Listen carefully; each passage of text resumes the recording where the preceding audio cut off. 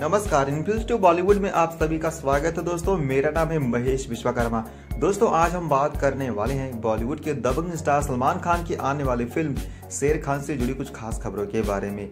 जबकि दोस्तों, फ़िल्म के बारे में तो हम लोगों ने पहले भी बात किया था कि सलमान खान एक फ़िल्म लेके आ रहे हैं। थ्रिलर एक्शन से भरपूर फ़िल्म की स्टोरी होने वाली है, जिस फ़िल्म का नाम है शेर खान। अब ऐसे में दोस्तों, फ़िल्म से जुड़ी कुछ खास खबरें सामने आई है, जिसके बारे में हम बात करने वाले हैं। सबसे पहले दोस्तों, आपको बता दें कि ये जो फ़िल्म है, ये जो प्रोजेक्ट है, वो सलमान खान के भाई सुहेल खान का है। और फ़िल्म की स्टोरी, यानी कि फ़िल्म के स्क्रिप्ट पर सुहेल खान ही काम कर रहे हैं। जबकि ये फ़िल्म साल 2021 में रिलीज़ होने वाली थी। तो ऐसे में दोस्तों, बात करें फ़िल्म की कहानी के बारे में, यानी कि स्क्रिप्ट के बारे में बात करें तो जब ये सलमान खान के पास स्क्रिप्ट स्क्रिप्ट आई तो सलमान खान को फ़िल्म की स्क्रिप्ट पसंद नहीं आई।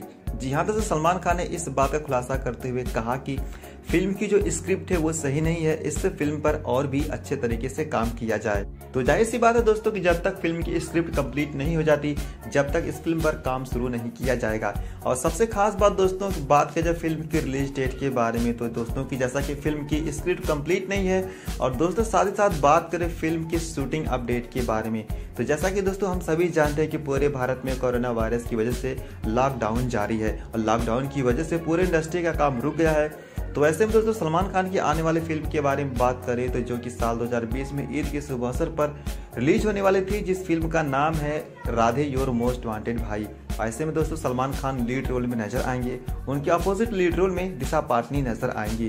तो फ़िल्म की शूटिंग अभी दोस्तों कंप्लीट नहीं हुई है कोरोना वायरस की वजह से लॉकडाउन हो गया, जिसकी वजह से राधे की शूटिंग अभी बाकी है। और इसी के साथ साथ तो जैसा कि दोस्तों फ़िल्म के रिलीज़ डेट में भी काफ़ी डिले हुआ है कि ये फ़िल्म ईद पर रिलीज़ होने वाली थी साल 2020 में, लेकिन फ़िल्म की शूटिंग अधूरी होने की वजह से अब ये फ़िल्म ईद पर नहीं रिलीज़ हो सकती है।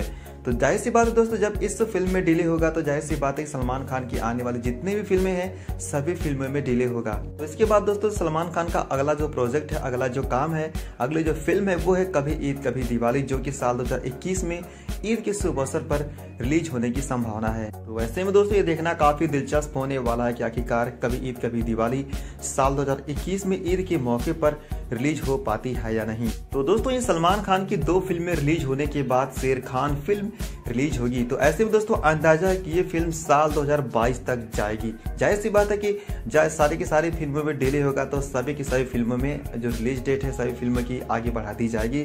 तो आपको बता दें कि ये फ़िल्म अब हमें साल 2022 में देखने को मिलेगी। तो दोस्तों, इसके बारे में आपका क्या रिएक्शन है, आपकी क्या राय है कमेंट बॉक्स में जाएँ और अपनी राय ज़रूर दें।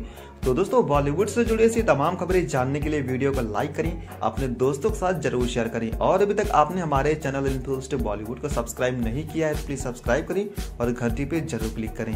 धन्यवाद।